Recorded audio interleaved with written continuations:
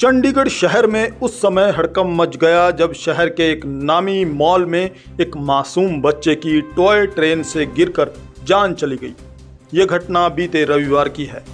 जब बच्चे के परिजन मौज मस्ती करवाने बच्चों को मॉल लेकर आए थे और जैसे ही बच्चा टॉय ट्रेन में बैठकर खुश हो रहा था, लेकिन वही खुशी कुछ देर बाद मातम में बदल गई।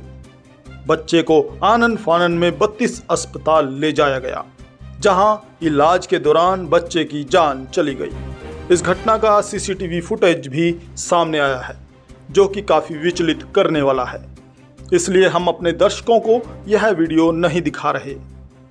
आपको बता दें, इस मामले में डीएसपी राम गोपाल ने बताया कि जतिंदर पाल की शिकायत पर इंडस्ट्रियल एरिया थाना पुलिस ने toy train operator Bapu Dham निवासी सौरभ और कंपनी के मालिकों के खिलाफ गैर इरादतन हत्या और लापरवाही का मामला दर्ज किया है।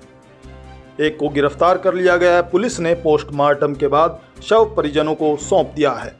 Bureau report Arth Prakash TV.